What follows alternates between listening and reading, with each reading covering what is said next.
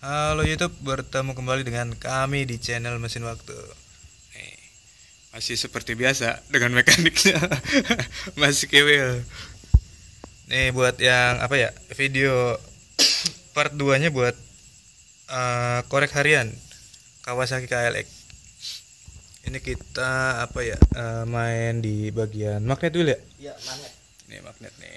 Ini udah tadi tadi siang dia bubut nih jadinya seperti ini finishing airnya rapih juga nih cakep ini berapa mili kisaran Wil? Kita bubut 2 mili. 2 mili ya? Ya. Emang kita nggak uh, tahu sih memang apa sih tadinya ini bobotnya berapa terus sampai ini hasil jadinya berapa cuma patokannya ya ini aja di pemapasan magnetnya ini 2 mili itu ini kan sebenarnya masih bisa lebih dalam lagi ya Kalau untuk ketebalan magnet tuh rata-rata dari 5 mili sampai 6 mili. Oh gitu. Sip Iya. sip sip sip. Dari standar pabrik. Hmm, ini kenapa nggak dibuat terlalu enteng? Karena motor masih harian terus kan dibutuhkan torsi biar nggak hilang torsinya ya.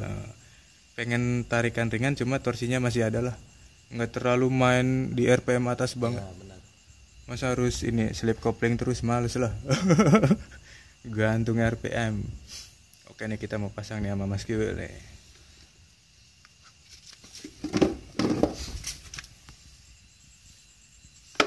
ini apa ya? Oh ininya belum ya? Pilih, apa namanya nih? Sepi. Sepi magnet.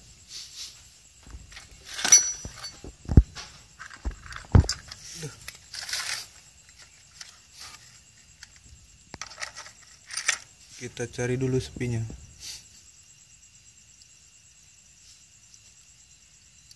Sepi magnet. Ada apa ya? Pastikan dulu posisi pistonnya berada di TMA ya? Ya, tema. Buat part 3 nya besok apa Wil? Bocorannya Wil? Eh, noken as ya sama iya, masang head ya? Sama pasang head.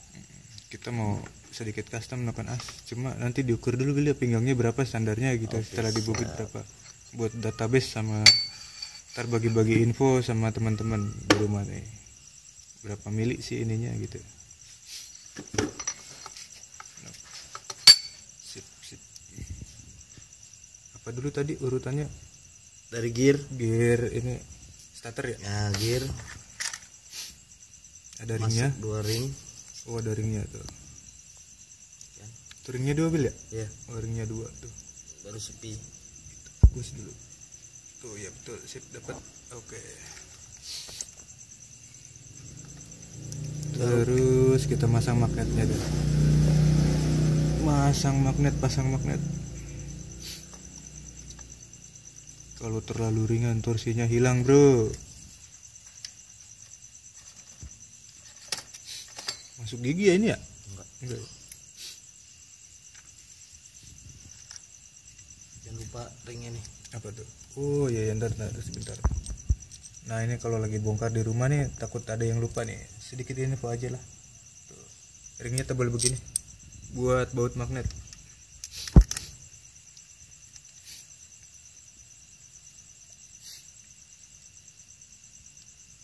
besok kita berarti nokenas jadi besok ya? Jadi ya? Berarti besok kita tuh masang bagian atas buat di part 3 nya karena kalau dibikin satu video durasinya terlalu panjang.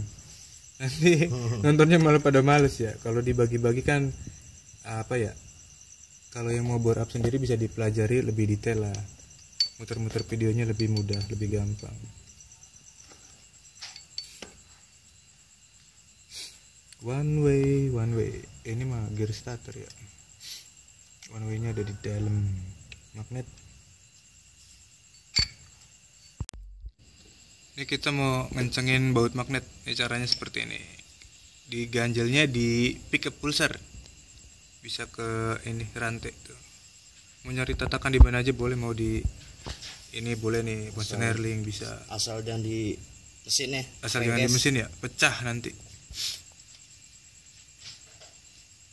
sip cukup oke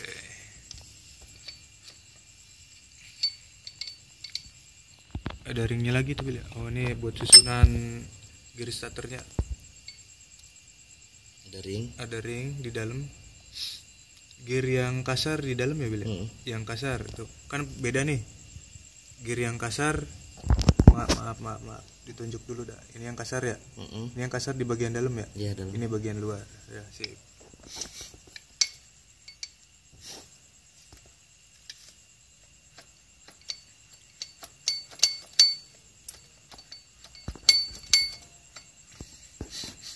apa one way kali ya Sip. oke nih tinggal apa ya masang buak magnet jangan lupa packingnya dipasang. Kebetulan ini mah packingnya masih utuh jadi nggak diganti.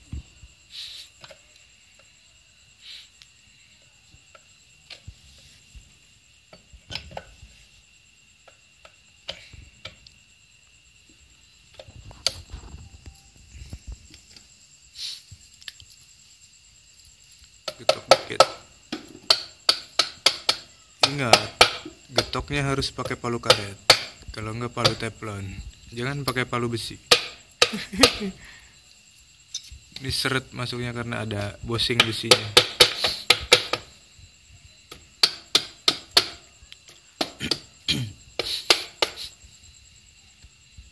rapat kah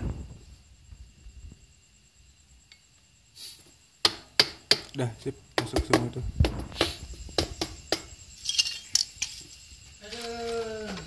terus apa lagi nih Bel? masang ini lagi ya?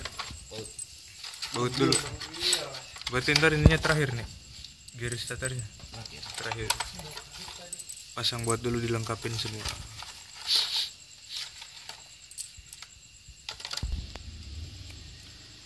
Ini udah kelar buat ya masang bautnya semua tuh. Sekarang Mas Kebil mau masang ini gear starter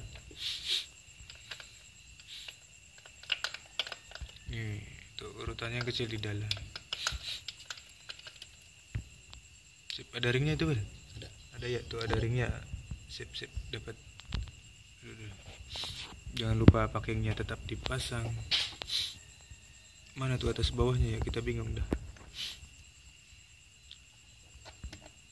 Sip. Tinggal dibaut sebenarnya ini mah mau dipasang sekarang headnya cuma terkendala tadi tukang bubutnya ini ya Wil kita kan mau papas noken as nih. Ini noken as standarnya KLX nanti di part 3 nya kita bakal ini nih masang head sama kita ulas buat noken asnya. Nanti diukur dulu Wil ya buat sebelum dan sesudah. Berapa pinggangnya ukurannya berapa gitu dengan eh, apa ya masih pakai klep standar. Per klepnya nanti apa standar? Pakai standar semua. pakai standar semua. Oke sip sip sip. Karena ini harian nah paket hemat sekali. Jos. tinggal ini tutup ini ya. Ntar lagi diambil nih. Tutup buat muter. Magnet ya, tapi Ki, besok masih diputer-puter lagi Bil ya? Nggak usah ya? Nah ini. Buat kalau mau dibesokin posisikan piston di TMA paling atas. Tuh. Ntar kalau Kiwi lagi ngedayil juga kita kasih tau lah tutorialnya buat nyari top teratasnya Bil ya? Dari piston. Pokoknya tapi dipisah ngedayilnya dari mencari top terus cara menghitung durasi dari kapan mulai dihitungnya ya ya pakai patokan satu mili apa satu mili? Satu mili. setelah klep membuka gitu dan menutup ya. Oke sip. Ntar itu di video berikutnya dah. Kalau ada kesempatan kalau ada job yang sesuai kita buatkan videonya. Terus kalau ada masukan apa-apa bisa tulis di kolom komentar. Ntar saya requestin sama Mas Kiwil. Ntar ya kalau saya ada waktu saya juga bikin konten juga di sini. Kalau apa ya channel saya yang sebelumnya kan di modelo motor mungkin ya sudah ada yang tahu kalau pernah nonton channel modelo motor ya? Itu biasanya saya yang bikin saya yang buat konten. Nah kalau yang mesin waktu ini kita tandem bareng Mas Kiwil. Oke lah udah sampai sini dulu ya buat Ya, part ininya ya? oke sip lah buat video yang ini part 2 nya cukup sampai sekian Sampai jumpa di video berikutnya. Terima kasih banyak.